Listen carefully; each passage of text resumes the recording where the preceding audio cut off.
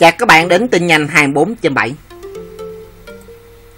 Cận cảnh và giá bán Kawasaki W 175 209 Custom đậm chất cổ điển đến từ Motorock Mới đây, đại lý quỹ quyền chính thức Kawasaki Motorock đã có buổi giới thiệu cái mẫu xe Kawasaki W 175 209 phiên bản Custom một cái bản đồ do chính lý Motorock thực hiện sau khi nhận được yêu cầu nâng cấp từ ý tưởng của khách hàng.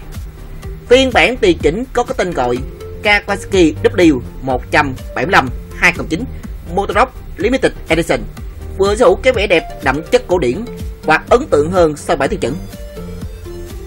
Được Kawasaki Việt Nam phân phối chính hãng ở thị trường trong nước gần hơn một năm qua.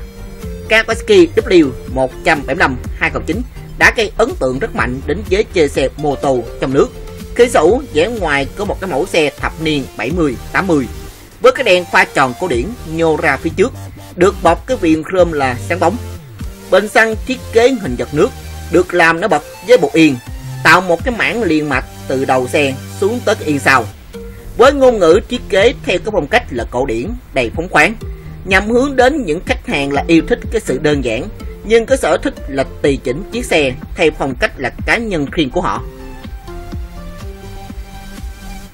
Hiểu được cái nhu cầu và ý tưởng từ khách hàng, mới đây, đại lý quỹ quyền chính thức Kawasaki Motorop vừa trình làng cái chiếc W115 phiên bản custom được thực hiện theo yêu cầu và ý tưởng của khách hàng với tên gọi Kawasaki W115 209 Motorop Limited Edition sau 15 ngày thực hiện từ khâu lên ý tưởng, Motorock đã mang đến cho khách hàng của mình cái mẫu W115 hoàn toàn mới mẻ với vẻ ngoài đậm chất khí cổ điển cũng như là tiện dụng hơn rất nhiều. Điểm qua và cái điểm nổi bật sau biên bản tiêu chuẩn ta thấy cái chiếc Kawasaki W115 209 Motorock Limited Edition được thiết kế với những phụ tùng riêng phụ tùng được làm riêng cho cái mẫu W105 209 và chỉ có tại Kawasaki Motorock. Đó chính là chụp lưới trang trí đèn pha, bảo vệ trang trí kèn. Yên ngồi được thiết kế lại mỏng, đồng thời cong dễ ngồi và trông thẩm mỹ hơn. Cái phần quay ở giữa cũng được lược bỏ.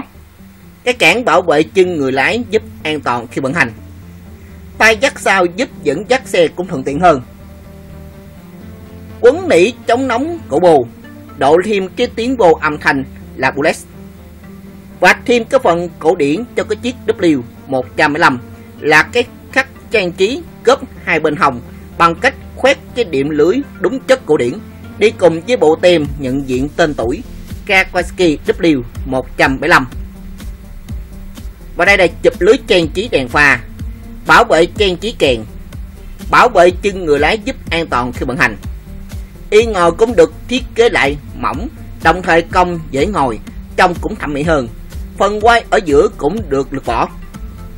Tay dắt sau giúp dẫn dắt xe thuận tiện hơn. Quấn nỉ chống nóng của bù, đổ thêm cái tiếng vô âm thanh bullet.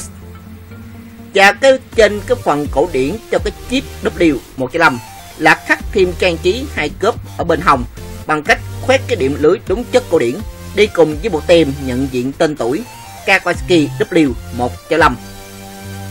Theo đại diện Kawasaki Motorock cho biết, có rất nhiều khách hàng mong muốn chiếc xe mô tô cỡ vừa 175C mang một phong cách mạnh mẽ qua những cái việc là trang trí với những chi tiết thực hiện khoảng là 5% giá trị xe.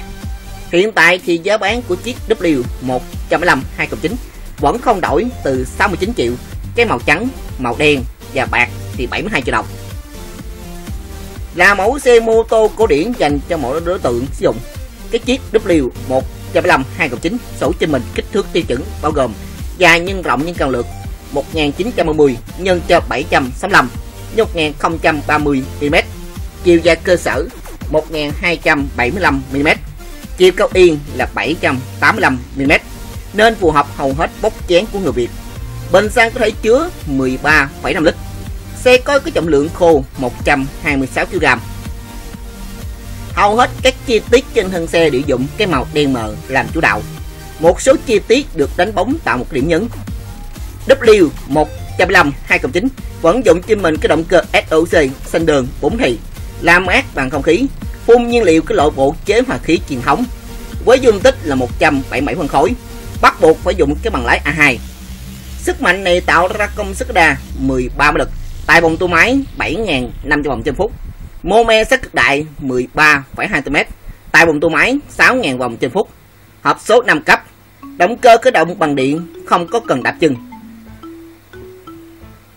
Kawasaki W105 2009 vẫn chủ những trang bị thuần chất cổ điển. Như hệ thống cái đèn pha với chó tròn cổ điển nhô ra phía trước rất là đặc trưng.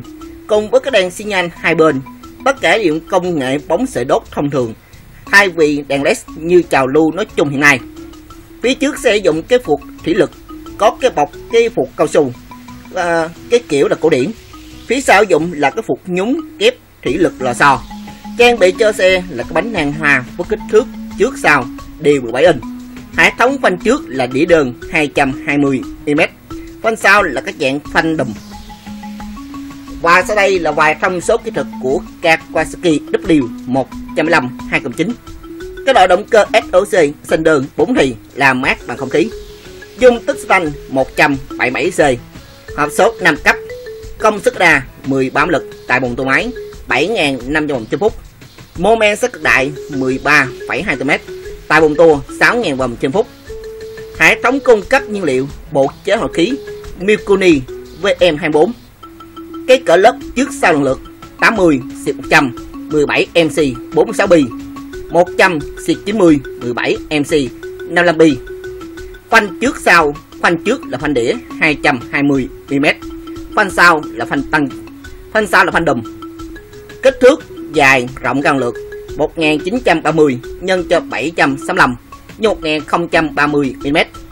Chiều dài cơ sở 1275 mm chiều cao tiên là 785 mm dung tích bên xăng 13.5 lít.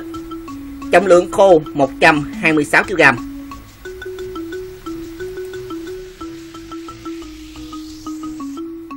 Cảm ơn các bạn theo dõi clip này. Để tiếp nhớ like, subscribe.